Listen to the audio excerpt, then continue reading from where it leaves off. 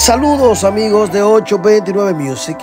Gracias por estar conectados con nosotros. Esta noticia nos llena de mucha tristeza.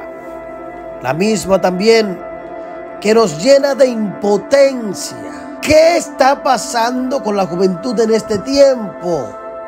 Es como si apostaran la mayoría o si creyeran que son de hierro que son irrompibles, que son como los gatos con más de siete vidas.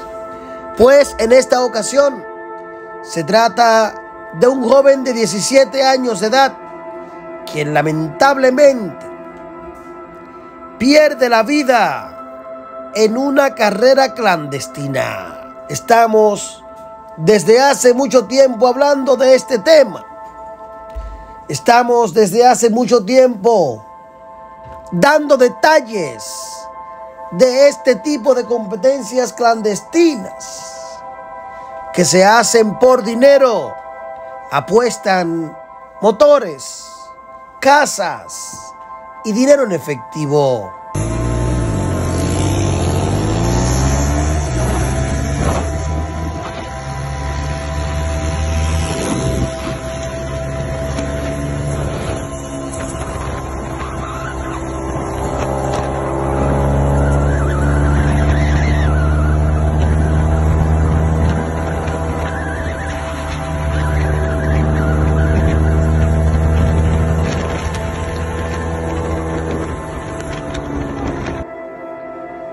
El municipio de Boyá, exactamente en Sabana Grande de Boyá, en la provincia de Monteplata.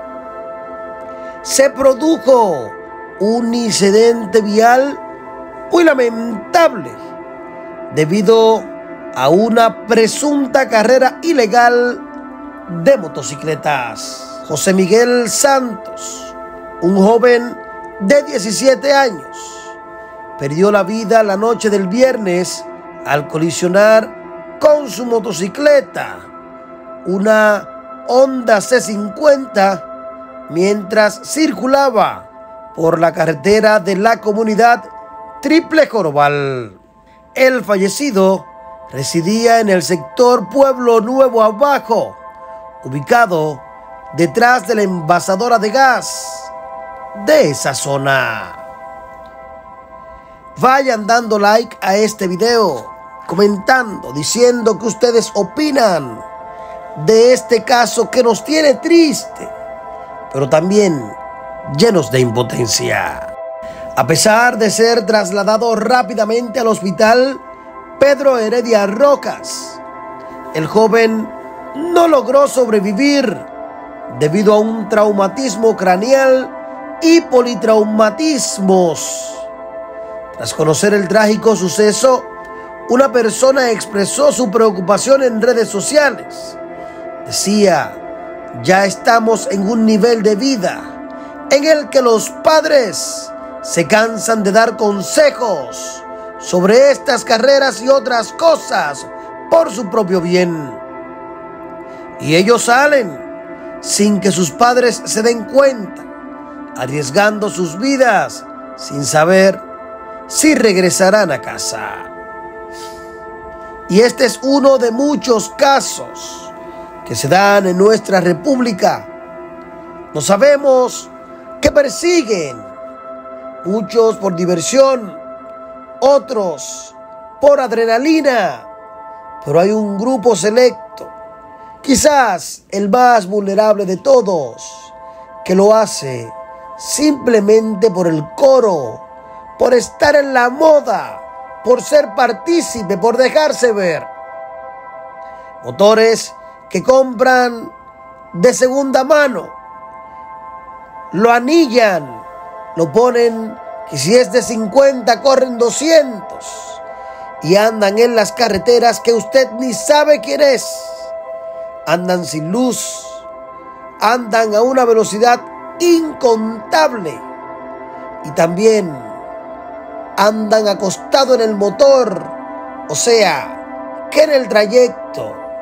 Los que andan guiando también se suman a la peligrosidad de estas carreras clandestinas. Patanas, camiones, guaguas y hasta carritos cualquiera puede tener un accidente con uno de estos que andan a velocidad ni rápido y furioso. Pero la verdad de toda esta trama extraña es que ellos mismos echan carreras hasta la muerte. No solo por la competencia, a veces por el ego, a veces echan carreras en lugares donde hay tanto tráfico que tú ni te imaginas por qué razón se mueven en esos lugares. Una cosa es andar en una carretera intransitable. A la velocidad que andan no hay forma, ni siquiera de poder evadir a un mosquito.